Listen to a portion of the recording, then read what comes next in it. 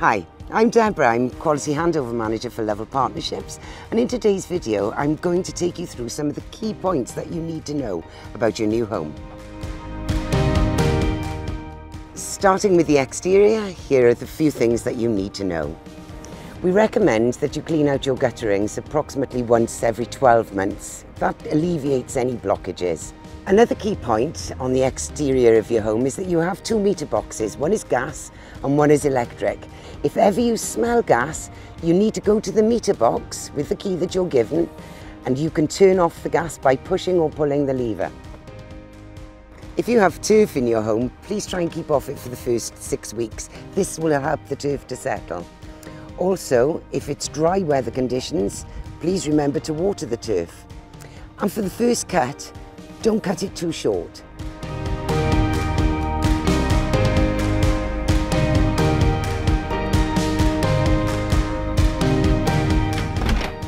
We focused on the outside of your property. Now I'd like to bring you inside and show you some of the key points in your new home. Shrinkage, which is micro-cracking in walls, is just a natural part of drying out of the home. And as long as it's not more than the rim of a pound coin, that's fine and natural and normal. If you do have any micro-cracking or shrinkage, what we recommend is that you fill it with a filler, rub it down, and you can use the pot of paint that we give you to touch it up.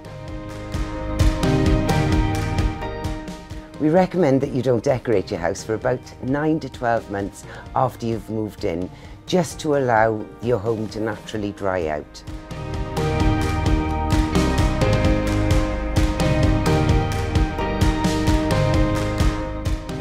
I'll just demonstrate the windows to you. You can open them to have a small amount of ventilation and that there is in a shut position where nobody can get in However, there will be still air circulating throughout the room. You just pull the handle up and open the window fully.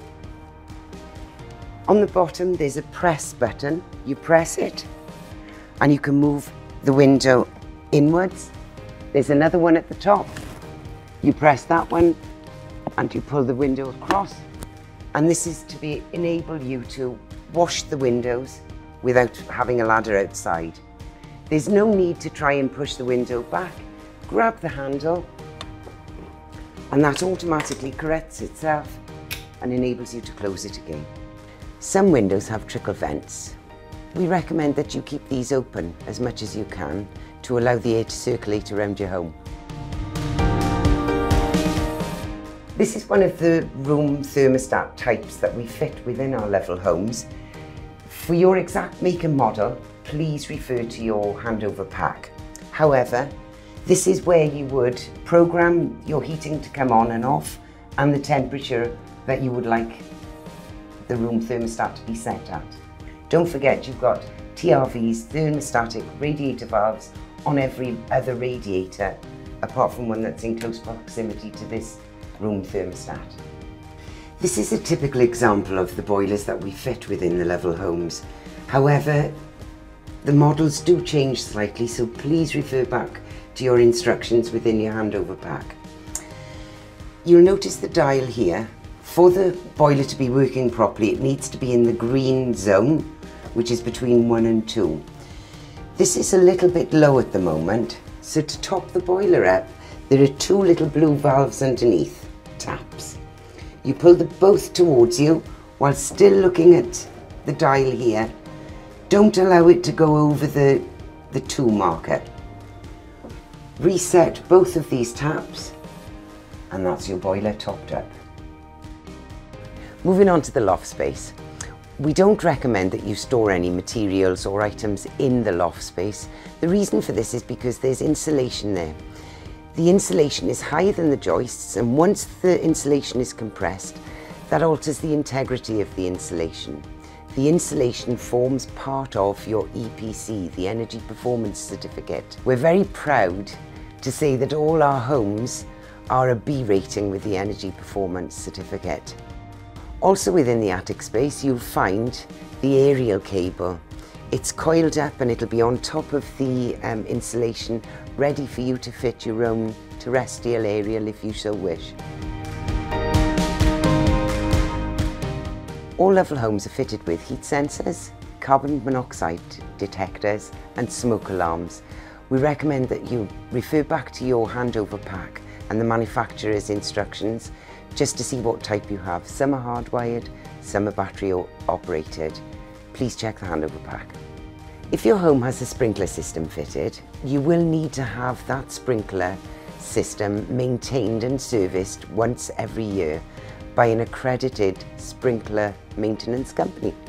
Within your home, you will have extractor fans fitted in cloakrooms, kitchens and bathrooms. Especially if there isn't um, a window within that room, you need to keep these fans on. These fans are trickle fans and they also react with the humidity. Your new home front door has been fitted with a thumb turn. This is for ease of exit in an emergency all other doors within your home, you need to lift the handle to turn the key.